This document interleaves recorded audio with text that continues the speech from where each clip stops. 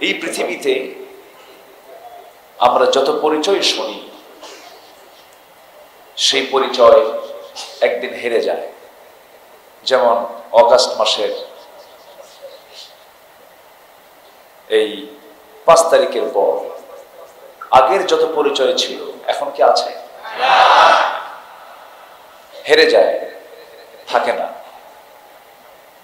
ফেরাউনের কত দাপট ছিল সেই ফেরাউনের ইতিহাস, পরিচয় হেরে গেছে। কিন্তু পৃথিবীবাসী ফেরাউনকে চেনে। কেন চেনে? কোরআন তাকে চেনায় দিছে। সুনামে কুনামে? কোরআনে কারিমের ভেতরের নাম থাকলেই যে আপনি বড় ভাগ্যবান তা কিন্তু না। অনেক নবীর নামও কিন্তু বাদ পড়ছে। অনেক নবীর নাম কোরআনে নাই। ফেরন কি বাদ পড়ছে? ফেরনের নামটা কিন্তু আছে। তার মন্ত্রী পরিষদের একজন অন্যতম সদস্য হামানের নামটাও আছে। এরকম করে যুগে যুগে বহু দাপুটে মানুষ এই পৃথিবীতে যারা অহংকার করেছে, আজকে তারা পরিচয়হীন। মোগল আমলে মোগল সম্রাটদের কি দাপট ছিল? শত শত বছর সেই কাবুল থেকে এসে গোটা সাবকন্টিনেন্ট তারা শাসন করেছে। মোগল সম্রাটদের ইতিহাস আমাদের কম বেশি জানা আছে, কিন্তু তাদের খবরের পাশে কি এখন যায়? যায় না। তো পরিচয় একদিন হেরে যায়, পরিচয় থাকে না, পরিচয়হীন হয়ে যায়। কিন্তু যিনি কখনো পরিচয়হীন হবেন না, যিনি কখনো হারাবেন না, ফুরাবেন না, যিনি ছিলেন, আছেন, থাকবেন, তিনি কে? অতএব তার সঙ্গেই আমরা থাকব, যিনি কখনো হারাবেন না। যিনি কখনো হারিয়ে যাবেন না, আমাকে ফেলে যাবেন না। নেতারা তো পালায়। নেতা পালায় না? চলে গেছে। নিকটবর্তী ইতিহাসে এমন নাই। এই বাংলাদেশের ইতিহাসে এমন আমরা পাইনি যে শেষ পর্যন্ত পালিয়েছে। রাষ্ট্রপ্রধানের এমন কোন রেকর্ড আমরা পাইনি। সম্মানিত ভাইরা কিন্তু যিনি কখন আমাকে ফেলে যাবেন না আমাকে কখন অবহেলা করবেন না যিনি আমাকে মাফ করার জন্য অস্থির হয়ে থাকবেন থাকেন তিনি আমার কে? সেই মহানব্বুল আলমিনের পরিচয়ে যদি আমরা জানতে চাই, গোটা কোরআনের তিন ভাগের এক ভাগ জুড়ে আমরা তার পরিচয়টা পেয়ে যাব। আল্লাহ রাব্বুল আলামিন তার নিজের পরিচয় দিয়েছেন বহু জায়গায়, বহুভাবে দিয়েছেন। এক জায়গায় তিনি বলছেন, হুয়াল আউয়াল ওয়াল আখির ওয়াল যাহির ওয়াল বাতিন ওয়া হুয়া বিকুল্লি শাইইন আলিম। তিনি প্রথম, তিনি শেষ, তিনি প্রকাশ্য, তিনি গোপন সকল ক্ষমতার উৎসকে। আসতে সকল ক্ষমতার উৎস তিনি কে?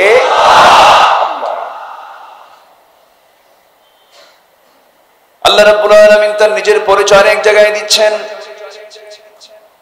কোরআনে কারীমের সবচেয়ে শ্রেষ্ঠ আয়াত আল্লাহ রাব্বুল আলামিন দিয়েছেন। যারা পারেন ছোট মিলিয়ে বলুন, আল্লাহু। লা ইলাহা ইল্লা হুয়াল হাইয়ুল কাইয়ুম লা তাখুযুহু সিনাতুন ওয়ালা নাওম আরেক জায়গায় আল্লাহ রাব্বুল আলামিন বলেন هو الله الذي لا إله إلا هو عالم الغيب والشهادة এরকম করে আল্লাহ রাব্বুল আলামিন বহু জায়গায় তার পরিচয় তিনি দিয়েছেন আরেক জায়গায় বলছেন তাবারাকাল্লাযী জাআলা ফিস সামাই বুরুজাও وجعل فيها سراجا وقمرا منيرا আরেক জায়গায় বলছেন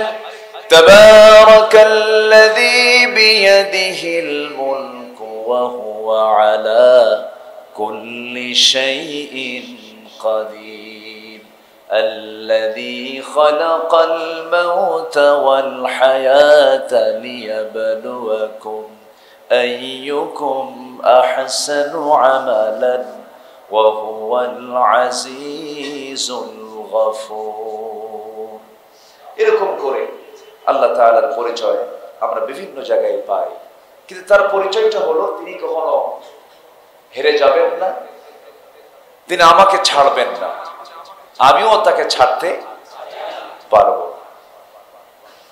সম্মানিত ভাইয়েরা, কেমন করে আমরা সতেরো বছর কাটালাম। আমার জীবনে আমার চল্লিশটা বসন্ত পার করেছি। এর বাইশটি বসন্তই মামলায় কেটেছে। উনিশশো ছিয়ানব্বই টু দু হাজার আবার দু নয় থেকে আটের শেষ থেকে দু হাজার চব্বিশের চৌঠা অগাস্ট পর্যন্ত। শুধু উকিল আমাকে জানিয়ে দিতেন, অমুক তারিখে আপনার হাজিরা মানে বড় একখান চাকরি। সেইদিন অমরে ফারুক রাজি আল্লাহ তালানহ প্রথম খলিফা। সৈয়দিন আবু বকর সিদ্দিক রাজি আল্লাহ তালানহর শাসন আমল। দু বছর তিনি মদিনার গভর্নরের দায়িত্ব পালন করলেন। হাকিমের দায়িত্ব, বিচারকের দায়িত্ব পালন করলেন। এই দুই বছর তিনি বিচারালয়ে গেলেন, আসলেন। দু বছর পার করার পর তিনি আফসোস করে বলছেন, দুটা বছর আমি বিচারপতির ভূমিকা, বিচারপতির দায়িত্ব পালন করলাম, কিন্তু একটা আসামির বিচার করতে পারলাম না, কারণ আসামি নাই, মামলাই নাই। আল্লাহ একবার বলবেন না? বিগত সতেরো বছর তো মামলা ছিল না। ছিল। যদি বলি, গোটা দেশ ছিল একটা কারাগার, ভুল হবে? আর সেই কারাগারের কয়েদি ছিল আঠারো কোটি এদেশের জনগণ। সম্মানিত ভাইরা, সবকিছুর শেষ আছে। শেষ আছে না নাই? আল্লাহ আছেন না? ছিলেন না? থাকবেন না? জুলুম থাকবে না। জালিম থাকবে না। জুলুমতন্ত্র দিয়ে কখনো আল্লাহর শ্রেষ্ঠ সৃষ্টি মানুষকে দমিয়ে রাখা মজলুমের ফরিয়াদ কবুল করেন কে? আল্লাহ সম্মানিত ভাই সঙ্গে থাকলে সঙ্গী, বিরুদ্ধে গেলেই জঙ্গি। আমরা তো এটাই পেয়েছি, তাই না? সঙ্গে থাকলে সঙ্গী, বিরুদ্ধে গেলে জঙ্গি, চাইলে অধিকার, বানিয়ে দেয় রাজাকার। আর এই কার্ড খেলা শেষ। সংখ্যালঘু কার্ড খেলা শেষ। বহু কিছুই তারা খেলেছে। আর হচ্ছে না। ফেরন চেয়েছিল তার ক্ষমতাকে পাকাপোক্ত করার জন্য অনেক কিছু। আসমানি কিতাবে আগুন ধরিয়েছিল। মুসালামকে সাগরে চুবিয়ে মারতে চেয়েছিল। অনেক চেষ্টা ফেরাউন করেছিল। শেষ পর্যন্ত বিজয় হয়েছে ফেরাউনে না মৌসার? বিজয় হয়েছে জালিমের না মাসলুমের মাসলুমের পক্ষে কে আছেন? এই পৃথিবীর সেরা মজলুম ছিলেন জনাবে মোহাম্মদুর রসুল্লাহ তার চেয়ে বড় মজলুম মানুষ পৃথিবীতে আর আসবে না। কত বড় তিনি মজলুম ছিলেন এবং আল্লাহ তাআলা তাকে অসহায়ত্ব নিয়ে দুনিয়াতে পাঠিয়ে দিয়েছেন। জন্মের আগেই বাপ নেই, জন্মের পর পর আবার মাটাও আবার সেই মহামানবকে আল্লাহ তাআলা পৃথিবীর সেরা লিডার বানিয়েছেন। সুবহান জন্মের আগে কে নেই বাবা নেই জন্মের পর পর? দাদা একখান ছিল, সাত বছর এটাও নেই ডাবল ইয়েতিম। কি এতিম বলেন? ডাবল। প্রকৃতি এতিম হলো যারা বাবাকে হারায়। নাবালক বয়সে এমন কন্ডিশন থাকবে যার ওটাকে এথিম বলে। আমার দেশে আবার বুড়া মানুষও এতিম আছে না? মাইক নিয়ে বলে, ভাই, আমি তো এথিম বয়স সত্তর বছর।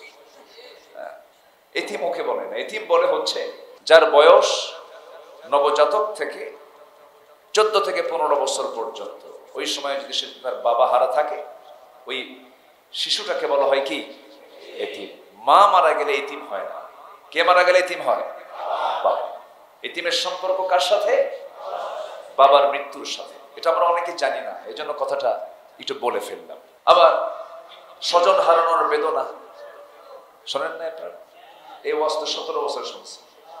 বেদনা তো আমাদের সবারই আছে। বিশেষ করে হসপিটালে গেলে এই চিত্রগুলো আমরা এখন দেখতে পাচ্ছি। চোখ নাই, হাত নাই, পা নাই, অঙ্গহানি হয়ে কাতরাচ্ছে হসপিটালের বেডগুলোতে। মানবতর জীবন যাপন করছে, কি কষ্ট তাদের। চরম কষ্ট। এই কষ্টগুলো দিল কারা? জালিমের জুলুমকে প্রশ্রয় দেওয়ার কোনো সুযোগ দেওয়া যাবে না। জালিমকে সাহায্য করতে হবে। বলেছেন মোহাম্মদ সাল্লাহ কেমন করে সাহায্য করবেন সে যেন জুলুম না করতে পারে। আমরা খেয়াল করব, জোরে বলি ইনশাআল্লাহ। তাহলে এই পৃথিবীর সেরা মাজলুম ছিলেন এক নম্বরে টপ ওয়ান তিনি কে? মোহাম্মদুর রসুল্লাহ সাল্লাহ আলী ওসাল্লাম তো তার জীবন থেকে আমরা কিছু কথা শুনব, কেন জানেন? আমার দেশে ঠিক এই মুহূর্তে আমরা একটার অভাবে আছি, সেটা হলো সৎ নেতৃত্বের অভাব। ঠিক কিনা এটা দ্বিধা দ্বন্দ্বের মধ্যে আছি আমরা। কোন আদর্শের দিকে যাব? কেউ তো জাতীয়তাবাদ নিয়ে আছে, কেউ সেকুলার নিয়ে আছে, কেউ বাবারটা নিয়ে আছে, কেউ স্বামীরটা নিয়ে আছে। বিভিন্ন চেতনা নিয়ে ঘুরঘুর করছে। কিন্তু আমি মুসলিম, আমার ধর্ম ইসলাম, আমার আদর্শ কি হবে? আমার চেতনা কি হবে? আমি কোন পথে চলব? আমার মূল নেতৃত্ব আমি কোন জায়গা থেকে গ্রহণ করব? এই সমস্ত বিষয়ে আমাদের এই প্রেজেন্ট টাইমে আমাদের একটু জানার দরকার আছে না নাই? এখন তো প্রযুক্তির যুগ, মিডিয়ার যুগ, কথাগুলো খুব দ্রুত ছড়িয়ে পড়ে গোটা পৃথিবীময়। আল্লাহ তাআলা এটা সিলেকশন করেছেন। বলে দিয়েছেন, তোমাদের জন্য আদর্শের বাস্তব নমুনা দুজন হবে না। তোমাদের জন্য আদর্শের বাস্তব নমুনা হবে একজন। সেই মহান ব্যক্তিকে মোহাম্মদুর রসুল্লাহ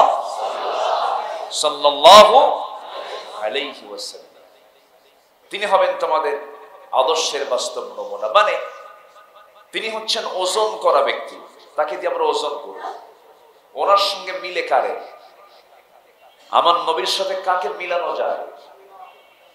আমার নবীর সাথে কোন ব্যক্তিটার সিরাত মিল আছে? চারিত্রিক মিল আছে। আমার নবীর দলটা কে করে? আমার নবীর সুন্নতকে কে মানে? কোন নেতা আমার নবীর আদর্শকে সমাজে বাস্তবায়ন করার জন্য চেষ্টা চালায়? এবং চিন্তা চেতনা কারা লালন করে? আমরা তাদেরই কি মানতে চাই? আসতে বলবেন না?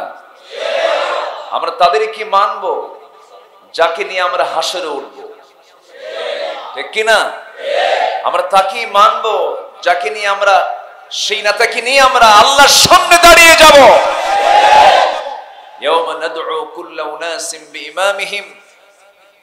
হাসরের ময়দানে সেদিন প্রত্যেক নেতা তার কর্মী সহ উপস্থিত হবে। কার সামনে?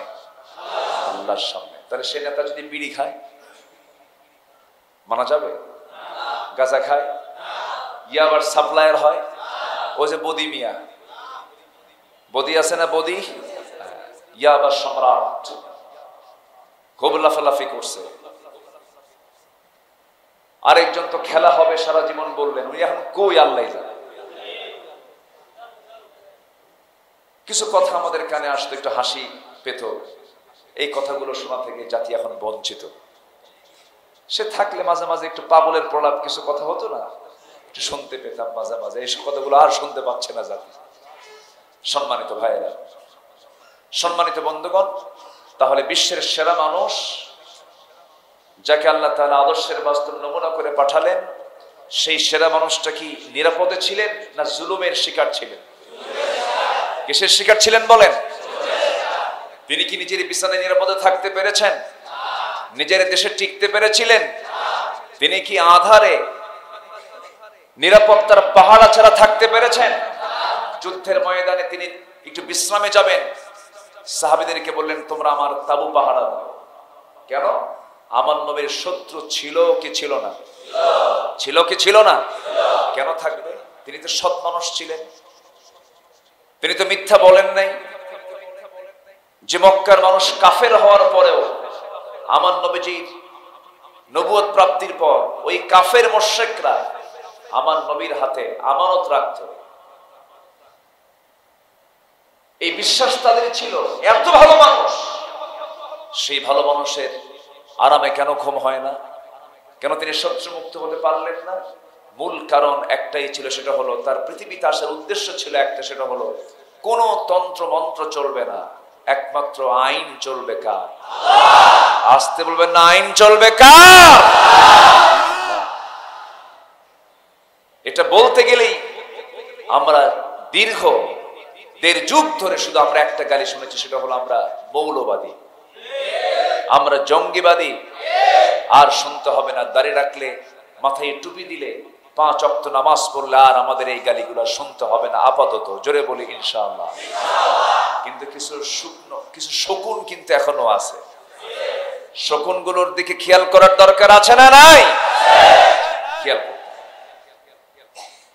আমার বন্ধুগণ আল্লাহ রাব্বুল আলামিন আমার নবীর শানে বলে দিয়েছেন لقد كان لكم في رسول الله أسوة حسنة لمن كان يرجو الله واليوم الآخر وذكر الله كثيرا তোমাদের জন্য আদর্শের উত্তম বাস্তব নমুনা অন্য কেউ নন মাত্র একজনকে আমি সিলেকশন দিয়েছি তিনি অন্য কেউ নন যার সম্মান মর্যাদা আল্লাহর পরে যার সম্মান মর্যাদা যার নেতৃত্ব সূর্য যতদিন উদয় হবে, অস্ত যাবে, তার নেতৃত্ব ততদিন এই দুনিয়ায় বহাল থেকে যাবে।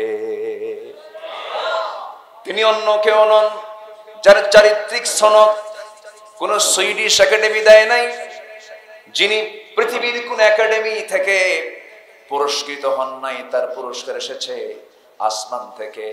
আসমানের মালিক নিজে পুরস্কৃত করে তার সার্টিফিকেট দিয়ে বলছেন নুন والقلم وما يسطرون ما أنت بنعمة ربك بمجنون وإن لك لأجرا غير ممنون وإنك لعلى خلق عظيم জোরে বলুন আল্লাহ আকবার তোমাদের নবী মুহাম্মদ সাল্লাল্লাহু আলাইহি তিনি হচ্ছেন সীমাহীন চরিত্রের তিনি আধার। এমন চারিত্রিক সনদ আল্লাহ রাব্বুল আলামিন তাকে দিলেন, কোন সময় দিলেন? যে সময় মক্কার মানুষগুলো রসুলকে গালি দিয়ে দিয়ে, রসুলকে তার মনকে ভাঙ্গার জন্য বারবার চেষ্টা করছিল। সন্তান ছেলে, মেয়ে সন্তান ছেলে হওয়া, মেয়ে হওয়া, না হওয়া এটার ফয়সলা সম্পূর্ণ কার হাতে? আসতে বলবেন না কার হাতে? আল্লাহ তালা রসুলকে চার, চারটা মেয়ে দিয়েছিলেন, কিন্তু প্রাপ্ত বয়স্ক ছেলের সন্তানের জনক তিনি ছিলেন না। সন্তান ছিল ছেলের সন্তান, শিশু অবস্থায় দুনিয়া থেকে বিদায় হয়ে যায়, চার, চারটা ছেলের সন্তান ছিল তার। কাসেম তাহির তৈয়ব ইব্রাহিম, তারা কেউ সন্তান পৃথিবীতে আসার সঙ্গে সঙ্গে দুনিয়া থেকে বিদায় হয়ে যায় কাসেম রাদি আল্লাহ তালানহ তিনি সাত বছর বয়সে দুনিয়া থেকে বিদায় হয়ে যান, নবীর পুত্র তিনি ছিলেন। এই সন্তানগুলো যখন মারা গেল, নবীজি তবু গালি থেকে মুক্ত হলেন না, সেই সময় বলে ফেলল, আরবের সেই কোরাইশে বলে ফেলল, মুহাম্মদের রব মুহাম্মদকে বাদ দিয়ে দিস। কেমন করে বলে ফেলল? সন্তান হয়, মারা যায়। শেষ পর্যন্ত রসুলকে নির্বংশ বলে গালি দিল লেসকাটা বলে গালি দিল। কিন্তু আল্লাহ তালা সরাসরি একটা কমপ্লিট সুরা নাসিল করে রসুলকে জানিয়ে দিন হে রসুল, আমি আপনাকে খুব ভালোবাসি। কমপ্লিট সুরা নবীর শানে নাসিল হলো। যারা পারেন, ঠোঁট মিলিয়ে বলুন, ইন্না আ'তাইনাকাল কাউসার ওয়ানহার।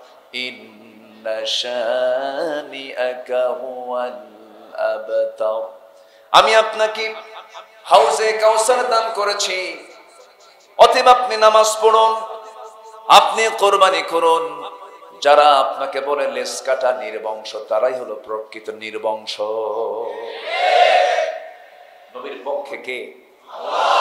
আবুল আহাব বলে, মোহাম্মদ ধ্বংস হয়ে যাক। আমার নবীজি আবুল আহাবের দুই সন্তানের সাথে নিজের কন্যা দুইটাকে বিয়ে দিয়েছিলেন জাহেলি যুগে। নিজের কন্যা সন্তানকে যখন বিয়ে দিয়ে দিলেন, কি গভীর সম্পর্ক, আত্মীয়তার সম্পর্ক। নিজের কন্যা দুইটাকে তার দুইটা ছেলের সঙ্গে বিয়ে দিয়েছেন। নবুয়ত পেলেন, ইসলাম যখন তিনি পেলেন, দিন যখন পেলেন, মেয়ে দুইটাকে তালাক দিয়ে তার মেয়ে দুইটাকে বাড়িতে পৌঁছায় দিল, পাঠায় দিল। ইসলাম মানতে গেলে পারিবারিক সম্পর্ক নষ্ট হতে পারে, সামাজিক সম্পর্ক নষ্ট হতে পারে পিতা পুত্রের মধ্যেও বিরোধ লাগতে পারে লাগতে পারে কিনা বলেন? লাগতে পারে। এই জন্য ইসলাম মানতে গেলে মাথায় রাখতে হবে, পারিবারিক বাধা আসবে, সামাজিক বাধা আসবে, ধনাঢ্য শ্রেণির বাধা আসবে, রাষ্ট্রীয় বাধা আসবে, সকল বাধা ডিঙ্গিয়ে আমার আল্লাহর সঙ্গে ইসলাম নিয়ে টিকে থাকতে হবে। আমার বন্ধুগণ, আমার ভাইরা এই জন্য আদর্শ আমরা লালন করতে গিয়ে একটি আদর্শ আমরা লালন করব, যার আদর্শের সনদ, যার চারিত্রিক সনদ আল্লাহ নেজিয়ে দিয়েছেন, তিনি হচ্ছেন মোহাম্মদ সাল্লাল্লাহু আলাইহি ওয়াসাল্লাম। সূরা কালাম থেকে আমি আজকে একটু কথা বলার চিন্তা করছিলাম, রাস্তায় তো সময় চলে গেল, একটু পয়েন্ট আকারে, একটু বলার চেষ্টা করছি, একটু মনোযোগ দিয়ে কথাগুলো শুনবেন। তাহলে আমরা দল করব ব্যক্তির না নবীর। বলেন, ব্যক্তির না নবীর। দল করব ব্যক্তির না আল্লাহ বলেন, কার? আদর্শ মানবো আমার নবীর। দল করব কার? দল করব কার? আর আমাদের আইন হবে, আমাদের বিধান হবে, আমাদের চলার পথ হবে একমাত্র কোরআন। কোরআনকে মানবো ইসলামকে মানবো ইমানটা মজবুত করব, আল্লাহর আটটা জান্নাত আমার আপনার জন্য অপেক্ষা করবে। আমার ভাইরা, নবীজির চরিত্র কেমন ছিল? কোরআনের ভাষায় সাতটা দিক আমি তুলে ধরে আলোচনা শেষের দিকে আস্তে আস্তে চলে যাব। কষ্ট পাচ্ছেন নাকি আপনি? একটু বলি, কথা বলি। কোরআনের আয়নায় রসুল কেমন ছিলেন? একটু বলার চেষ্টা করছি। কিসের আয়নায়? কোরআনের আয়নায় রসুল আমার কেমন? একটু বলি, আমি শেষের দিকে আস্তে আস্তে চলে যাব। সম্মানিত ভাইয়েরা, আমার নবীজির চারিত্রিক সনদ তাহলে কে দিলেন? আমার নবীর চরিত্র ছিল শুধু উন্নত না মহা উন্নত। তিনি ভিতরেও যেমন, বাহিরেও তেমন। ব্যক্তিগত জীবনও যেমন, পারিবারিক জীবনও, কি বলে, বাহিরের জীবনও তেমন। সব জায়গায় তিনি ওপেন ছিল স্ত্রীদেরকে ডাক দিয়ে বলতেন, স্ত্রীরা রাতের আধারে যা করি, সব বলে দাও। সাহাবিদেরকে ডাক দিয়ে দিনের আলোতে তোমাদের সঙ্গে আমি যা করি, তা বলে দাও। বলেন তো, এই চরিত্র কি আজকের নেতাদের মধ্যে পাওয়া যাবে? পাওয়া যাবে? Boat club. জানেন না? বোট ক্লাবের দিকে যান। নাইট ক্লাবের দিকে যান। বারের দিকে যান। এই bar night club, boat club, এগুলোর সাথে নবীর অনুসারে যারা, নবীর আদর্শ লালন করে তাদের বিন্দু পরিমাণ কোনো সম্পর্ক নয় মদ, নারী নিয়ে যারা পড়ে থাকে, এমন নেতৃত্বের মুখে এখন জুতা মারার সময় এসেছে। ওগুলোকে মানবো না আমরা। বহু ধোকা খেয়েছি, আর ধোকা খেতে চাই না। এ জাতি ইসলাম চায়। এ জাতি ইসলাম চায় না? প্রশাসন ছাড়া যদি দশ দিনে দেশ চলতে পারে, প্রশাসন ছিল না তো? ছিল? ছিল তাহলে প্রশাসন ছিল না, তাহলে পাহারা দিল কারা? জনগণ। আমার কলেজার টুকরা সন্তানরা, ছাত্ররা। আলহামদুলিল্লাহ বলেন। আঠারো কোটি এই বিশাল জনগোষ্ঠীর প্রশাসন দশ দিন নাই। তারা পলাতক। সেই জাতিকে দশ দিন প্রশাসন ছাড়া পাহারা দিয়েছে দেশের জনগণ। ছাত্ররা, এটা আশার দিক। এটা আশার দিক না? এটা আশার দিক। অবশ্যই হবে এদেশে পরিবর্তন আসবে। জোরে বলি ইনশাআল্লাহ। আর জোরে বলি ইনশাআল্লাহ।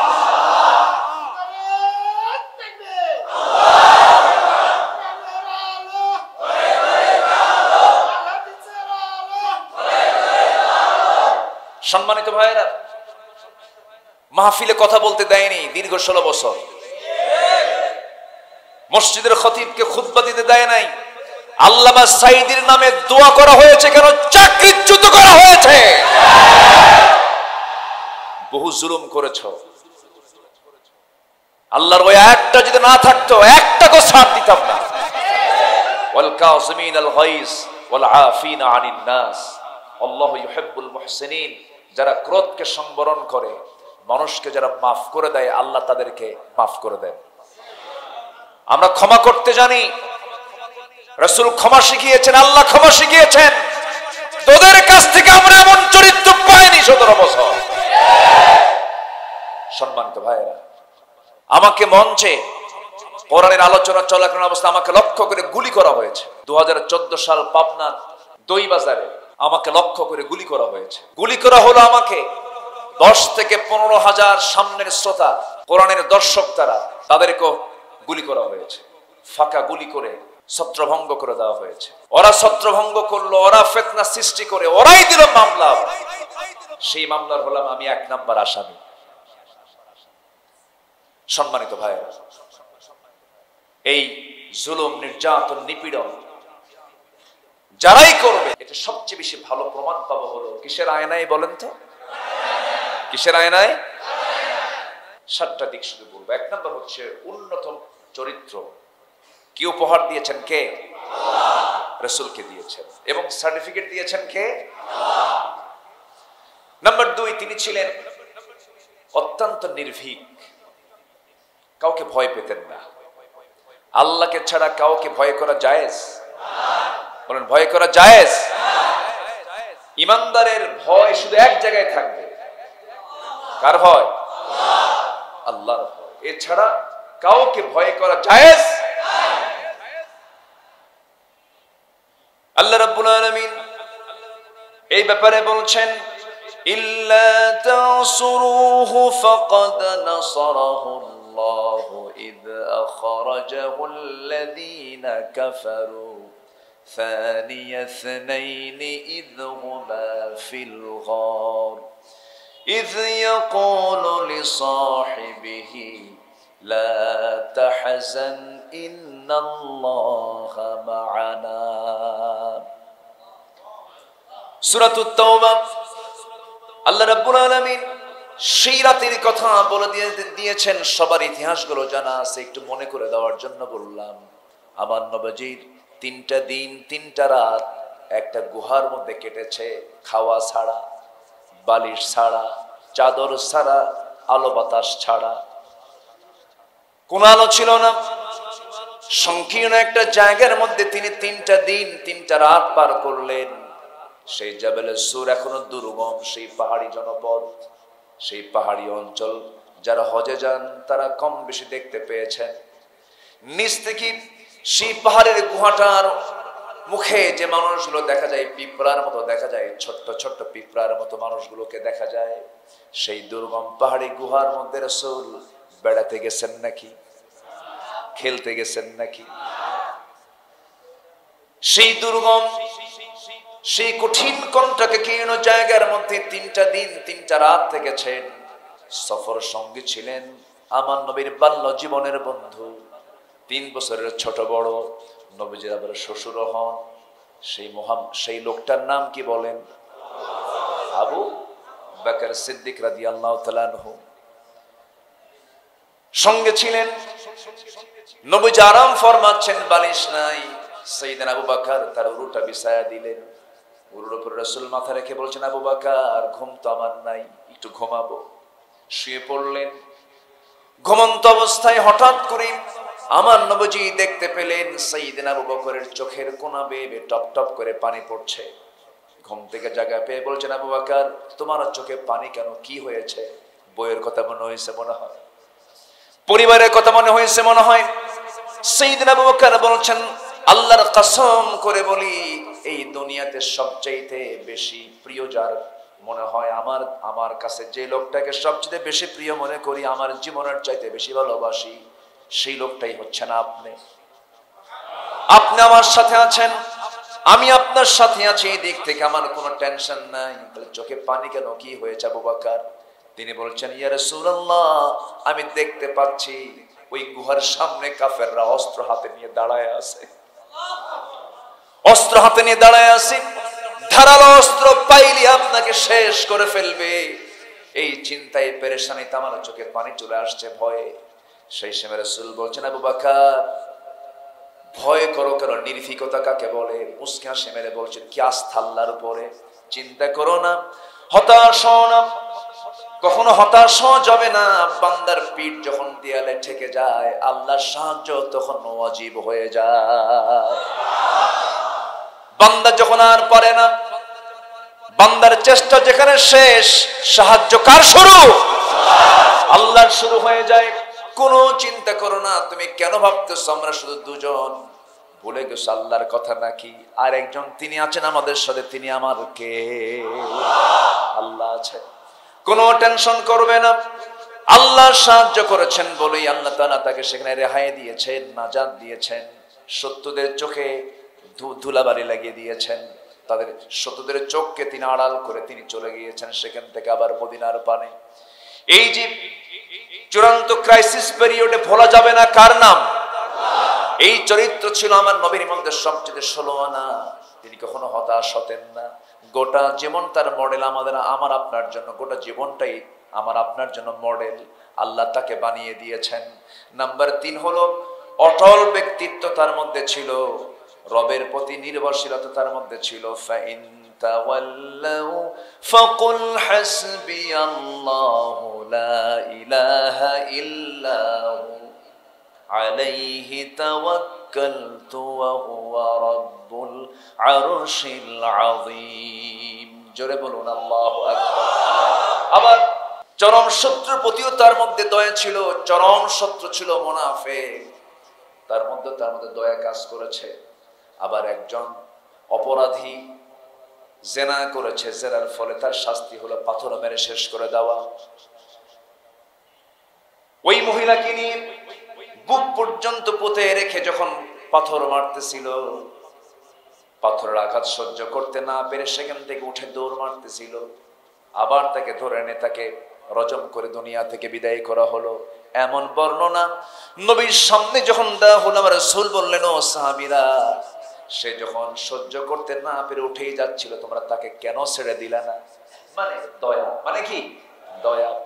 তার মধ্যে দয়া মায়া বেশি কাজ করত। নবজির বিরুদ্ধে সারা জীবন আবু জাহেল বিরোধিতা করেছে। বদরে সে খতম হয়ে গেছে তার ছেলে ইকরামা ইবনে আবু জাহেল রাদিয়াল্লাহু তাআলা কারণ তিনি ইসলাম কবুল করেছিলেন। সারা জীবন নবীর বিরুদ্ধে তার ছেলেও বিরোধিতা করেছেন। কিন্তু আমার নবীজি মক্কায় ঢোকার সঙ্গে সঙ্গে বলেন, ইকরামাকে মাফ করা যাবে না। কিন্তু ইকরামার বউ সঙ্গে সঙ্গে নবীর সামনে এসে বলছে, হুজুর, আমি কালিমা পড়তেছি। রসুলন তোমাকে মাফ করে দেওয়া হলো। হুজুর, আমার স্বামী ইকরাম আবু জেলের সন্তান, সে যদি কালিমা পরে মুসলমান হয়, আপনি তাকে মাফ করবেন কিনা রসুল বললেন, যদি কেউ কালিমার স্বীকৃতি দিয়ে দেয়, আল্লাহ তাকে মাফ করবেন, আমি কেন তাকে মাফ করব না?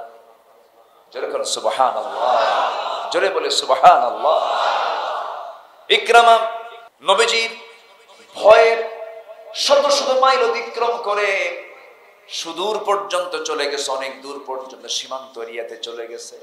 সীমান্ত এরিয়ায় সে এক দেশ থেকে আরেক দেশে যাওয়ার জন্য একটা নদী তাকে পার হতে হবে। নৌকার মাঝিকে বলতেছে, নৌকার মাঝি, আমি এই দেশে থাকব না, ওই দেশে চলে যাব, আমাকে একটু পার করো, কত টাকা নিবে আমি তোমারে দেব।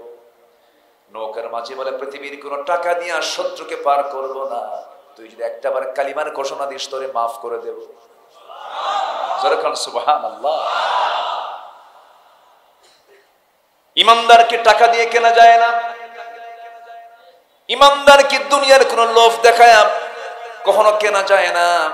সঙ্গে সঙ্গে লজ্জিত হয়ে বলল, আহারে, এই প্রত্যন্ত অঞ্চল পর্যন্ত ইসলাম পৌঁছে গেছে। বউটা খোঁজে বের হয়ে গেছে। রসুল মাফ করে দিবেন। বউ খুঁজতে খুঁজতে তাকে পেয়ে গেছেন, তাকে পেয়ে বলছে আমার স্বামী।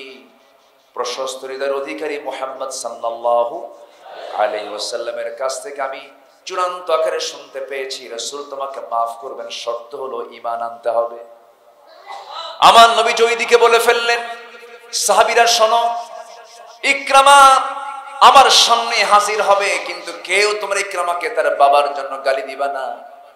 সে আমার বিরুদ্ধে যুদ্ধ করেছে, তার জন্য তোমার গালি দিবা না। কারণ যখন কোন বান্দা ইসলাম গ্রহণ করে নেয়, আল্লাহ তার আগের সমস্ত গুণাগুলো মাফ করে দেয়। আল্লাহ রাব্বুল আলামিন আমার আপনার জন্য এমন একজন ব্যক্তিকে মডেল বানিয়ে দিয়েছেন, শত্রুকেও তিনি মাফ করেছেন। শত্রুকেও তিনি মাফ করে দিয়েছেন। তার মধ্যে দয়ার পরিমাণটা কম ছিল না, বেশি ছিল? বেশি ছিল। মোনাফেক মারা গেল, একজন মোনাফেক মারা গেল। নবজির কানে সংবাদ এলো, মোনাফেক বাপ, সন্তানটা হলো ভালো সাহাবি, অনুগত সাহাবি নবীর সামনে সে বলছে, হুজুর, আমার বাপ খারাপ মানুষ, কিন্তু বাপ তো আমার। আমার বাপটা দুনিয়া থেকে বিদায় নিয়েছেন, হুজুর। আপনি আপনার পরনের দুটা বরকতের জুব্বা আমি চাই। জুব্বাটা দিয়ে দেন। আব্বা কি কাফনের কাপড় হিসেবে পড়ায় দেব? সন্তানের চেষ্টা যদি আল্লাহ মাফি করে দেন। রসুল কিচ্ছু না বলে তার হাতে দুটো জুব্বা দিয়ে দিলেন। কিছুক্ষণ পরে সে বলছে, হুজুর, আমি জানি মোনাফেকের জানাজা আপনি যাবেন না, কিন্তু আপনার কাছে আমি তো আপনার সাহাবি হই। দেখেন তো আমার আব্বার জানাজায় যাওয়া যায় নাকি? কি, যাও। আমি তোমার আব্বার জানাজায় যাব। মোনাফেক কিন্তু। নবীজির ভিতরে দরদ ছিল, তার চোখে পানি ছিল, দয়াদ্র হৃদয় তার মধ্যে, দয়াদ্রতা তার মধ্যে সর্বক্ষণ কাজ করত। আমার নবীজি বলেন, যাও, আমি তোমার আব্বার জানাজায় হাজির হব। নবীজি জানাজায় হাজির হলে কি কোনো সাহাবিরা বাদ যায় নাকি? সব সাহাবি চলে গেছে নবীর পিছে পিছে। ওমরে ফারুক নবীর পিছনে দাঁড়িয়ে থেকে বলছেন, ইয়া রাসূলুল্লাহ, আপনি কার জানাজায় যে লোকটা বদরের বদরের শত্রুতা করল, হুদের শত্রুতা করল, কত শত্রুতা আমাদের সঙ্গে করেছে? একজন চিহ্নিত মোনাফেকের জানাজায় বিশ্বনবী কেমন করে আসে হুজুর? আমাদের আমরা একটু বুঝতে চাই। রসুল বললাম অমর তুমি কিচ্ছু বলো না, আমি আমাকে জানাজা শেষ করতে দাও। আমার নবীজি জানাজা শেষ পর্যন্ত আদায় করলেন। সাহাবেকেরাম পিছনে দাঁড়ানো জানাজাও পড়া হলো। রসুল জানাজা সম্পন্ন করলেন, নিজের জুব্বা পর্যন্ত দিয়ে দিলেন। আমার নবজির জানাজা শেষ হতে না হতে আয়াত নাজিল হলো। ইস্তাগফির লাহুম আও লা তাস্তাগফির লাহুম। ইন তাস্তাগফির লাহুম 70 মাররাতান ফালান ইয়াগফির আল্লাহু লাহুম। আপনি তার জন্য ক্ষমা চান বা চান, সত্তর বার যদি আপনি তার জন্য ক্ষমা চান আমার আদালত তাকে ক্ষমা করবে না কারণ মোনাফেকের জন্য কোনো ক্ষমা নবীর দোয়া কবর হয় না। কাদের জন্য দোয়া করলে? মোনাফেক তো আমার দেশে নাই। আসতে বলবেন না আসে না নাই। মোনাফেক খুঁজতে গেলে তো ইমানদের খুঁজি পাওয়া যাবে না। যার ফজর নামাজ জামাতে হয় না এটা মোনাফিকের লক্ষণ। কি কথা কি বোঝা যায়? যার ফজর নামাজ মসজিদে হয় না, এটা কিসের লক্ষণ? এরকম লক্ষণের লোক তো নাই এলাকায়। আছে নাকি? আমরা মোনাফেকের সমস্ত আলামত থেকে আমরা বাঁচার চেষ্টা করব। মিথ্যা ছেড়ে দেব। একটা মিথ্যা বললে তার দুর্গন্ধ মাইলকে মাইল ছড়ায়। একটা গিবত করলে শুধু আমার নবীর সামনে, উম্মে সালমা রাদিয়াল্লাহু তাআলা রাসূলের সামনে আর আম্মা জান আয়েশা সিদ্দিকা আনহা সামনে উম্মে সালমার সামনে শুধু বলেছিলেন, সে তো খাটো। সে কি? খাটো। রাসূল বলেন, তোমার এই খাটো শব্দটা যদি দরিয়ায় ছেড়ে দেওয়া হতো লামাজাজাতুহু দরিয়ার সমস্ত পানি দুর্গন্ধ হয়ে যেত। যেরকম নাউজুবিল্লাহ। তাহলে ইমানদার কি গিবত করতে পারে? ইমানদার কি মিথ্যা বলতে পারে? ইমানদার কি আমানতের খেয়ানত করতে পারে? ইমানদার কি ওজনে ভেজাল করতে পারে? ইমানদার কি মিথ্যা সাক্ষ্য দিতে পারে? ইমানদার কি ওয়াদা ভঙ্গ করতে পারে? যারা করে তারা কি? তারা, যারা করে তারা কি? আমার কথায় মনে কষ্ট পাচ্ছেন। এতক্ষণ তো লাইনে ছিলাম। আপনি তো এখন হার্ড লাইনে চলে গেলেন। না। জাহান্নামকে হারাম করার জন্য জাহান্নামের কাজকেও হারাম করতে হবে। জান্নাতের জান্নাতকে ওয়াজিব করার জন্য ওয়াজিব কাজগুলোকে আমার আপনার আদায় করতে হবে। সম্মানিত ভাইরা নাম্বার চার হলো, নাম্বার পাঁচ হলো, আমার নবীজি রুক্ষ মেজাজে ছিলেন না, সংকীর্ণ মনা ছিলেন না, তিনি ছিলেন উদার এবং বদমেজাজ তার মধ্যে ছিল না। আমার নবীজির পাশে সবাই আসতে পারত, শুধু একদিন, এক অন্ধ সাহাবি, একজন অন্ধ সাহাবি নবীর পাশে এসে বসে আছেন। তিনি কথা বলছেন কিন্তু রসুল থেকে আবাসা ওয়াতাওয়াল্লা আন জাআহুল আল্লাহ তাকে ধরে ফেললেন। আল্লাহ রসুলকে বলেন, আপনি যাকে অ্যাভয়েড করছেন, সে অসংখ্য কাফের চাইতেই বান্দা আমার কাছে শ্রেষ্ঠ, কারণ তার মধ্যে ইমান আছে। যেরকম সুবহান আল্লাহ আমার নবীর কাছে সবাই চান্স পেত, সবাই আসত। নবীজি সবার সঙ্গে মিশতেন। রসুল ছিলেন শ্রমিকদের লিডার যেরকম সুবাহান আল্লাহ রসুল ছিলেন রাখালদের লিডার রসুল ছিলেন শ্রমিক ডিপার্টমেন্টের প্রধান। তিনি সব ছিলেন। তিনি মালিকও ছিলেন, শ্রমিকও ছিলেন। জি জি ইনশাল্লাহ আমি শুধু এই পয়েন্টগুলো শেষ করি, আমি আমার মূল পর্বে আবার যাচ্ছি ইনশাআল্লাহ। মনে কষ্ট দিয়ে ফেলতেছে আপনাদের। আমার এই জুমার খুদ্বায় নিয়ে আসার জন্য আমার এই ভাইটা আমার মনে হয় কয়েক হাজার বার ফোন দিচ্ছে আমার। আমি খুবই লজ্জিত আমি ফোন ধরতে পারিনি আসতে পারিনি ওইভাবে সাড়া দিতে পারিনি। তবে আমি আসার পর আমি খুবই আনন্দিত। আপনারা রাগ করছেন কিনা জানি না। আপনারা খুশি হয়েছেন তো? এখন খুশি হওয়া দরকার শুধু কার?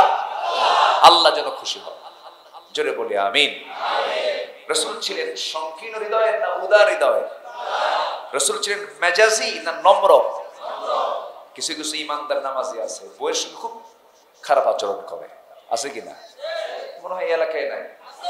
আছে কিনা? মাথায় টুপি আছে, মুখে দাড়িও আছে, কিন্তু বউরে পিটায়। আমাদের কাছে বহু রিপোর্ট আসে। পিটায়, রুক্ষ ব্যবহার, সন্তানদের সঙ্গে কর্কশ ব্যবহার, মুরব্বীদের সম্মান বোঝে না। মানে এরকম এরকম এরকম কেসেমের কিছু লোক আছে না? নামাজ কালাম ঠিক আছে কিন্তু চরিত্র মানে তার আচরণটা মহামেলাটা খুবই নোংরা না আমার নবীজি কেমন ছিলেন দেখেন আল্লাহ রাব্বুল আলামিন বলেন فبما رحمة من الله لنت لهم ولو كنت فظا غليظ القلب لانفضوا من حولك فاعف عنهم واستغفر لهم وشاورهم في الأمر فإذا عزمت فتوكل على الله إن الله يحب المتوكلين জোরে বলুন আল্লাহ আকবার সূরা আলে ইমরান আয়াত নম্বর 159 আল্লাহ রাব্বুল আলামিন রাসূলের ব্যাপারে বলছেন তোমাদের রাসূল সংকীর্ণ হৃদয়ের কোনো মানুষ ছিলেন না আমার নবী এত উদার ছিলেন, যদি সংকীর্ণ হৃদয়ের যদি হতেন, কেউ তার কাছে আসতে পারতো না। অবাল বৃদ্ধ বনিতা সব ধরনের মানুষ আমার নবীর কাছে জায়েজ ছিল। আসা সবাইকে তিনি বুকের সঙ্গে জড়িয়ে ধরেছেন। যুবককে কাছে টেনেছেন, সবাইকে তিনি কাছে টেনেছেন। ছোট্ট ছোট্ট বাচ্চারা খেলাধুলা ছেড়ে ছেড়ে দিয়া নবীর সঙ্গে এসে খেলতো, বসতো। নবজি তাদের সঙ্গে ফ্রি হয়ে কথা বলতেন। বউদের মাঝে যেতেন, আদর্শ স্বামী হয়ে যেতেন। শিশুর মাঝে দাঁড়াতেন, আদর্শ শিশু প্রিয় হয়ে যেতেন। সবার সঙ্গে মিশতেন। ইমানদার হবে মিশক মানুষ, ইমানদার হবে নম্র মেজাজের মানুষ, উদার চিত্তের মানুষ। নাম্বার ছয় হলো এ এবাদতে গভীর মগ্ন থাকা ব্যক্তি ছিলেন আমার রসুল। রসুল যখন শেষদার মধ্যে চলে যেতেন, ঘণ্টার পর ঘণ্টা চলে যেত, নবীজির শেষদা শেষ হতো না। নবীজি রুকুতে যেতেন, রুকু সহজে শেষ হতো না। গোটা রাত চলে গেছে আমার নবজির মাত্র দুরাকাত নামাজ শেষ হয়েছে। গোটা রাত চলে গেছে। আমার নবজির শেষদা দেখি আম্মাদের আয়েশা এক রাত্রিতে মনে করেন রসুল বুঝি মারা গেছেন, নড়াচড়া নাই। পিছন দিকে চিমটি কাটলেন, রসুল নড়ে গেলেন, রসুল সালাম শেষ করার পরে বলছেন আয়সা আমাকে চিমটি দিলে কেন খুঁজুর? আপনি নড়েন না, চড়েন না, বুঝে আপনি মারা গেছেন কি না? রসুল বলছেন আয়সা কেমতের দিন আল্লাহ দিন আমাকেও পাকড়াও করেন, আমিও নাজাত পাবো না। কি ভয় তার মধ্যে কাজ করত? আল্লাহর ভয়। গভীর ভাবে আমাদের দিলের মধ্যে স্থান দিতে হবে। আল্লাহকে সব সময়ের জন্য সামনে রাখতে হবে। সবচেয়ে বড় রাজ সাক্ষী তিনি আমার কে আসতে বলবেন না, তিনি আমার কে? আল্লাহ আমার হচ্ছেন সবচেয়ে বড় রাজ সাক্ষী। আমার বন্ধুগণ, গোটা দুনিয়ার সমস্ত পুরুষ মানুষ যদি, গোটা পৃথিবীর সমস্ত পুরুষ মানুষ যদি অন্ধ হয়ে যায়, একটা নারীর জন্য পর্দা করা কি বলেন আসতে কয়। পর্দা করা কি? গোটা পৃথিবীর সমস্ত নারীগুলো যদি উলঙ্গ হয়ে যায়, তবু একজন পুরুষের জন্য চোখের হেফাজত করা কি? এটার নাম হচ্ছে আল্লাহকে সাক্ষী বানানো। ফ্যান্টাসি কিংডম সামনে আছে বাবা, যে আছে না? ফ্যান্টাসি কিংডমে যারা একটু দেখতে আসে, সবার গায়ে তো মার্শাল্লাহ আপদ মস্তক মাদের, বন্ধের। বোরকা টোরকা আছে না? আছে বোরকা যারা সুইমিং পুলে আসে, তারা বোরকা পরে আসে। চোখের হেফাজত করতে হবে। এবাদতটাকে বাড়ে নিতে হবে আমার জীবনের কাজ এটা। গভীর ভাবে মগ্ন থাকতে হবে। কার এবাদতে? আল্লাহর আল্লাহ রাব্বুল আলামিন বলেন, ইন্না রাব্বাকা ইয়ালামু আন্নাকা তাকুমু আদনা মিন সুলুসাইল লাইলি ওয়া নিসফাহু ওয়া সুলুসাহু ওয়া তাইফাতুম মিনাল্লাযীনা মা'আক আল্লাহ রাব্বুল আলামিন আরেক জায়গায় বলছেন ওয়া মিনাল লাইলি ফাতাহাজ্জাদ বিহি নাফিলাতাল লাক عسى أن يبعثك ربك مقاما محمودا জোরে বলি, আল্লাহ আমার নবজির পাঁচ অক্ত নামাজ তো দূরে থাক পর্যন্ত কাজা হতো না। আর তার উন্মতরা কি করে? তো না, পাঁচ খবর। যার নামাজ নাই, তার চরিত্র ঠিক নামাজ আজকের থেকে কেউ ছাড়বো না। সবাইকে সিদ্ধান্ত নেওয়া যায়? সবাই কেমন সিদ্ধান্ত নিতে পারেন? পাঁচ অক্ত নামাজ কারা কারা ছাড়বো না, আজকের থেকে একটু হাত তুলে দেখেন তো দেখি। জোরে বলি, ইয়া আল্লাহ রহমান, আমাদেরকে পাঁচ অক্ত সালাত আদায় করার তৌফিক তুমি আল্লাহ দিয়ে দাও। জোরে বলি, আমিন। আরও জোরে, আমিন। রাগ করলেন মনে হয়। আমার নবীজির একটু আদর্শের দিকটা কোরআনের সামনে রেখে কোরআনকে সামনে রেখে একটু বলার চেষ্টা করলাম। আমার মন চাচ্ছে আমি আরও কথা বলি। কিন্তু সময়ের সংক্ষিপ্ততা সব দিকে আমরা খেয়াল করব। জোরে বলি ইনশা আল্লাহ সম্মানিত ভাইয়েরা আমার ভাইজান কাজ চলতেছে না। হ্যাঁ, প্রতি জুম্মায় হয়। আচ্ছা। জি। মসজিদের দোতলা, তিনতলা, চারতলায় অনেক মুসল্লি আপনারা হন তো যদি কিছু চাওয়া হয়, এদিকে খুব আরামে রাখছে বউটারে। বলেন তো, ওই বিধবা স্বামীর ওই পাঁচ কোটি টাকা ঋণ, ঋণের কথা শোনার পরে দোয়া করবে না বদ দোয়া করবে? কথাটা বুঝলেন? মানে বোঝানোর জন্য বলতেছে। একটা সংসার এই দেশ ছিল একটা সংসার। সেই সংসারের ফলাফল কি? উনিশ লক্ষ কোটি টাকা লোন। প্রেজেন্ট লোন হচ্ছে দেশের উনিশ লক্ষ কোটি টাকা। তার মধ্যে এগারো লক্ষ কোটি টাকাই তারা দেশ থেকে পাচার করে গেছে। তারা পাচার করে নিয়ে চলে গেছে। সম্মানিত ভাইরা যাদের চরিত্র এমন, সেই চরিত্রে মানুষগুলো কখনো প্রকৃত দেশপ্রেমিক হতে পারে না। এদেশের প্রকৃত দেশপ্রেমিক কারা? অঙ্ক যারা পারেন, অঙ্ক করে নিতে পারবেন। এদেশের প্রকৃত দেশপ্রেমিক তারাই যারা ডানপন্থী, যারা ইসলামের আল্লাহর দিন কায়েম করতে চায়, তারাই হচ্ছে এক নম্বর দেশপ্রেমিক। আল্লাহ, তুমি সবাইকে বোঝার তাওফিক দিয়ে দাও। জোরে বলি আল্লাহ আমিন। সম্মানিত ভাইয়েরা, সম্মানিত উপস্থিতি, নামাজ পাঁচ সপ্ত যে আমরা সিদ্ধান্ত নিলাম, এই সিদ্ধান্তে কি আপনাদের মন খারাপ হয়েছে নাকি? নামাজ না পড়লে সবচেয়ে বড় বেশি অসন্তুষ্ট হন, তিনি কে? সবচেয়ে বড় খেপে যান তিনি কে? জাহান নামে যাবার এক নাম্বার কারণ কি? আমরা তাদের কি নেতৃত্বে দেখতে চাই? যাদের নেতৃত্বে নামাজের আইন পাশ হবে সংসদে। আমরা তাদেরকে দেখতে চাই? যারা আমাদেরকে জাহান্নাম থেকে বাঁচানোর জন্য চেষ্টা চালাবে। আমাদের সবচেয়ে বড় অর্জন হলো, আমরা যদি জাহান্নাম থেকে বেঁচে যদি জান্নাতে যেতে পারি, আমাদের সকল কাজের মূল লক্ষ্য হলো জাহান্নামে যাওয়া না জান্নাতে যাওয়া? জান্নাতে যাওয়া। এই জন্য আমাদের ইমান আমাদের ইসলাম, আমাদের আমল, আমাদের তাকওয়া, এটাকে মজবুত করতে হবে। ইমান ইসলাম, এটা হচ্ছে বীজ আর গাছের মতো। বীজ আর কি? গাছের মতো। ইমান এবং ইসলাম হলো বীজ আর গাছের মতো। বীজ থেকে কি হয়? গাছ হয়। বীজটা যদি ভালো মানের না হয়। গাছ তো ভালো মানের হয় নাকি? ইমান যদি আপনার ভালো মানের না হয়, আপনি ইসলাম মানবেন কেমনে এজন্য প্রথম যে বীজ, যেটা ইমান, এটাকে ফ্রেশ রাখতে হবে, মজবুত ইমান আনতে হবে। তাহলে আমার গাছপালা ভালো হবে। গাছটা ভালো, সুন্দরভাবে ভালো জাতের গাছ আমরা উপহার দিতে পারব। ইমান এবং ইসলামের সম্পর্ক হলো চারা আর গাছের মতো, বীজ আর গাছের মতো। আর এটাকে ডেভেলপ করার জন্য, ইমানকে মজবুত করার জন্য দরকার হচ্ছে আমল। কি দরকার বলেন তো? আমল। এই আমল, আমলটা কি? আমল হচ্ছে সকল হককে রক্ষা করা, কোনো হক নষ্ট না করা। সকল হক, যেমন নামাজ, কার হক? জাকাত কার হক? আল্লাহ। কাম সারছে। জাকাত কার হক? বান্দার হক। জাকাত কার হক? বান্দার হক। আর নামাজ কার হক? আল্লাহর হক। আচ্ছা এই হকগুলো রক্ষা করো, হকগুলো নষ্ট না করো।